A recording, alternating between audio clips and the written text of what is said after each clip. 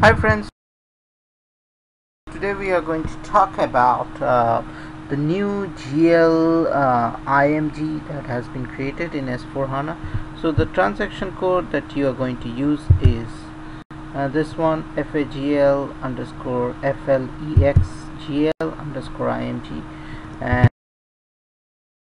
this is the new transaction that you can only get related with the new GL and here you can see the general ledger accounting. You can click and you can find other stuffs. You have bank accounting.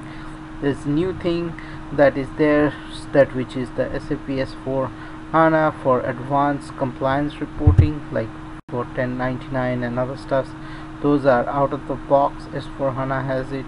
Then you have the BPC integration the real-time integration and then you have special uh, purpose ledger and other so on and so forth. So this would be very interesting and I hope you, you will use this transaction code.